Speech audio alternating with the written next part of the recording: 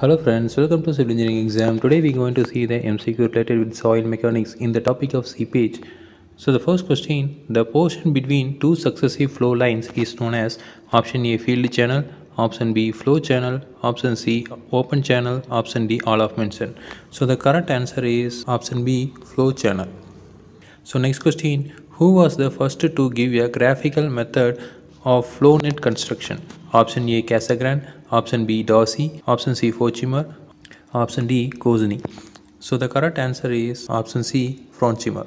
So next question, the Darcy law governing the flow of water through is related to which of the following law? Option A Ohm's law, option B Stokes law, option C Faraday's law, option D none of mention. So the correct answer is option A Ohm's law. So next question, the flow lines and equipotence lines are option A parallel, option B perpendicular, option C elliptical, option D all of mentioned. So the correct answer is option B perpendicular.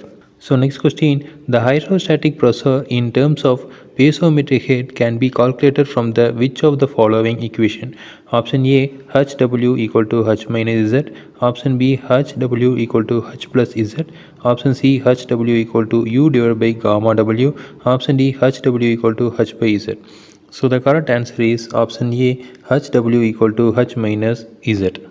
So next question, the seepage medium can be replaced by dash electric method having the same geometric shape.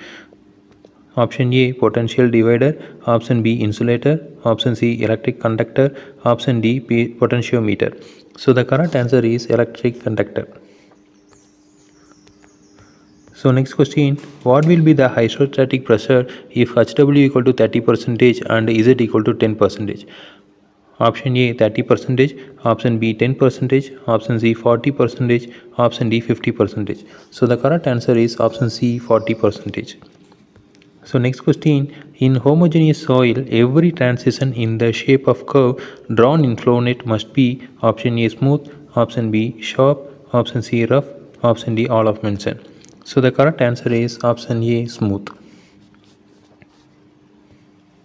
So next question, the exit gradient can be expressed by which of the following expression? Option A, IE equal to del H divided by I. Option B, IE equal to del H into I.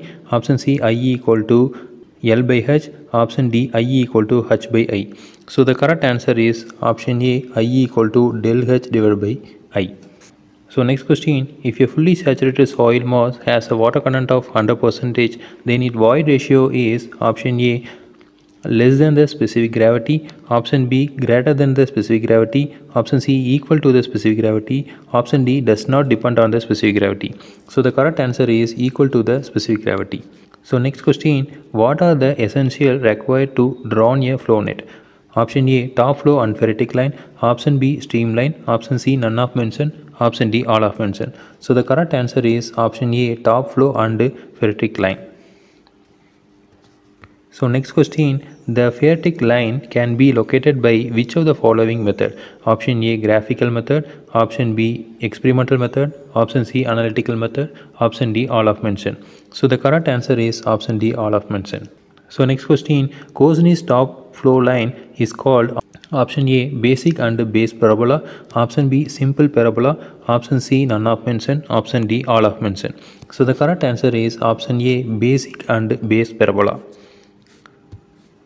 So next question, for the water flowing above in impervious infinite horizontal plane, the net flow is given by option A Casagrande, option B Kozeny, option C Forchheimer, option D Darcy.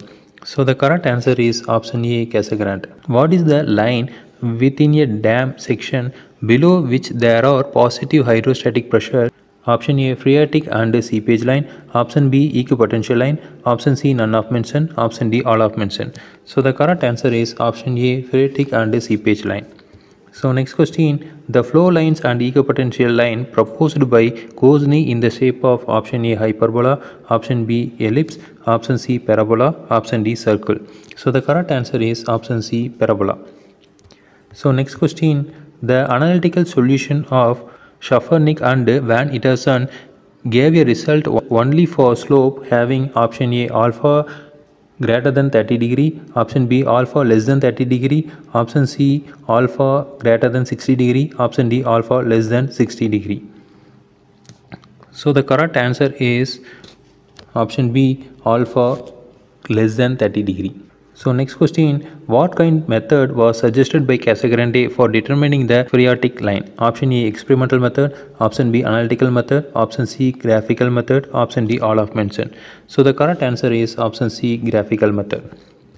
So next question, the phreatic line is defined as the line within the dam section below which there are dash in dam. Option A positive hydrostatic pressure, option B negative hydrostatic pressure, option C neutral hydrostatic pressure, option D no hydrostatic pressure. So the correct answer is option A positive hydrostatic pressure. So next question, the focus in an earth dam was no filter is option A lowest point of downstream slope, option B highest point of downstream slope, option C high flood level, option D medium flood level. So the correct answer is option A lowest point of downstream slope. So next question, the slope of discharge face can be exceed option A 30 degree, option B 45 degree, option C 60 degree, option D 90 degree. So the correct answer is option D 90 degree. So next question, the phreatic line is also known as option A seepage line, option B discharge line, option C velocity line, option D pressure line. So the correct answer is option A seepage line. Again we will see next video. Thank you.